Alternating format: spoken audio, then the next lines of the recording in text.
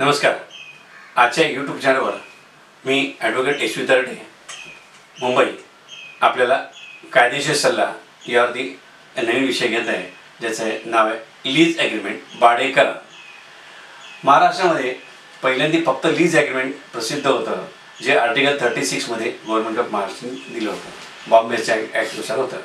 नंतर Bombay stamp stamp ॲक्टमध्ये थोडी amendment करून लीव लायसन हा प्रकार ॲड केला ज्याला आर्टिकल थर्टी ए दिलेला आहे. त्यामुळे मी भाडेकराने दोन प्रकार घेतले. पहिला प्रकार लीज दुसरा प्रकार थर्टी सिक्स एमधला लिव्ह लायसन्स लीव लायसन्स आपण यूट्यूब अगोदरच घेतलं आहे आणि ते दोन सेपरेट यूट्यूब आपण प्रसिद्ध केलेत. आता आपण याच्यावरती लीजवरती हा प्रसिद्ध करतोय. याच्यामध्ये पहिल्यांदा आपण फरक जाणून घ्या लिव्ह लायसन हा शॉर्ट पिरियड असतो. ज्याने एक वर्षापासून ते पाच वर्षापर्यंत लिव्ह लायसन केला जातो. पुढच्या वेळ लिव्ह लायसन म्हणत नाही आणि लीज ॲग्रीमेंट हा लॉंग पिरियड करता असतो. मग तो एक वर्षापासून नव्याण्णव नऊशे नव्याण्णव वर्षापर्यंत पण असू शकतो. त्यामुळे लीज ॲग्रीमेंट हा न्या मोठा असतो आणि नेहमी त्याला कायम भाडेकरार असं बऱ्याच वेळेस दिलं जातं किंवा भाडेकरार असं म्हणतात. दोन्ही प्रकार करता येतात. पण लीज ॲग्रीमेंट हा लॉंग पिरियडचा असतो. दुसरी गोष्ट लीज ॲग्रीमेंट हे जमिनीचं पण होतं. मात्र लीव लायसन ॲग्रीमेंट जमिनीचं खुल्या जमिनीचं होऊ शकत नाही. हा दुसरा फरक आहे. आता प्रश्न येईल का लीज ॲग्रीमेंट कधी आणि कोण करतं? तर दोन प्रकार पण त्याच्यामध्ये येतात. एक ॲग्रीमेंट लीजचं जमिनीचं आणि एक राहत्या घराचं किंवा राहत्या शॉपचं हे दोन प्रकारचे लीज ॲग्रीमेंट होतात. जे लीज ॲग्रीमेंटमध्ये आपण सहज सांगता येईल की तुम्ही जे पूर्वी प्रकार जे भाडे करार करायचा भाड्याने जागा घ्यायचे लोक आणि जमीन मालक भाड्याने जागा द्यायचे ते प्रकार लीज ॲग्रीमेंट किंवा भाडे करा. आणि हे सगळे आता पहिल्यापासून आपल्याला माहिती असतात की आपण पूर्वी जमान्यामध्ये सगळे मालक बिल्डिंग बांधायचा ते जागा भाड्याने द्यायचा आणि नंतर बा परमनंट भाड्याने ते भाडेकरून राहायचे. आता गव्हर्नमेंटने त्याला आणखी मजबूत केलेलं आहे की तुम्ही मालकाला त्याचे प्रोटेक्शन मिळावे म्हणून भाड्यामध्ये वाढ पण दर दोन वर्षांनी सबमि केलेली आहे मंजूर केली आहे. त्यामुळे भाडेकराला दर दोन वर्षांनी मालक भाडं वाढून घेऊ शकतो. त्याच्यामुळे तो भाडेकर हा एक चांगला कन्सेप्ट झालेला आहे. त्याहीपेक्षा आणखीन एक मायनस साईड असं म्हणता येईल की भाडेकर एकदा केला की तो कॅन्सल करता येत नाही. मालकाला जोपर्यंत त्याला त्या जागेची कायमस्वरूपी गरज नसते.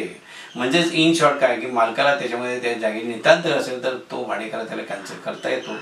किंवा त्यात काही स्पेसिफिक पिरियड दिला असेल नऊ वर्ष दहा वर्ष नव्याण्णव वर्ष तर त्या पिरियड तो कॅन्सल करता येतो. पण जुन्या जमान्यात जे जागेचे भाडेकरा केले जायचे ते कायम भाडेकरच असायचे. आता प्रश्न कायम भाडेकरा म्हणजे काय? तर भाडेकर एकदा दिली जागा की कायम स्वरूपात त्याला भाड्याने दिली जायची. मग त्याच्याकरता मालकने कधी डिपॉट घ्यायचा कधी पागडी घ्यायचा?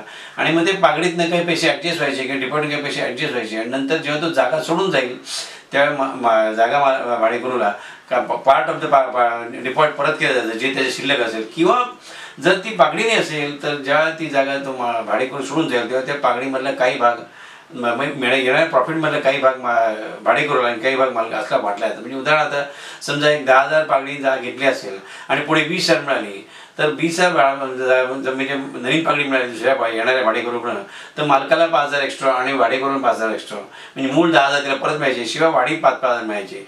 अशा प्रकारे हा पागडी भाडेकरापूर्वी असायचा.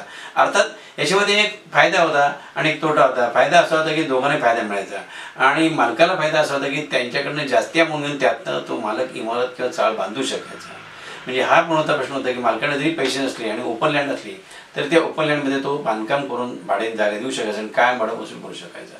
हा जुन्या प्रकारचा भाडेकर. आता अजून एक भाडेकरा जो मला सांग इथे अध्ययन करता येईल तो म्हणजे जमिनीचा.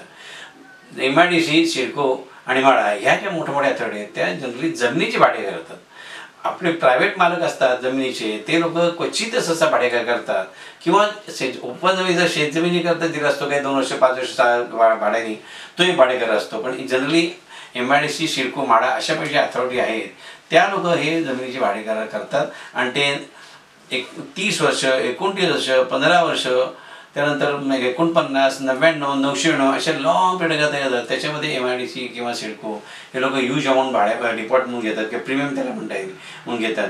आणि शिवाय नॉर्मल भाडं त्यात फिक्स केलं आपल्या रोजच्या उदाहरणार्थ घेता येईल की काही सिडको कॉलन्या किंवा माडा कॉलन्या आहेत त्यासुद्धा हे भाडेकरांच्या जागा दिल्या जातात. ज्याने ते तीस वर्षाकरता किंवा नव्वद वर्षाकरता असे भाडे दिले जातात.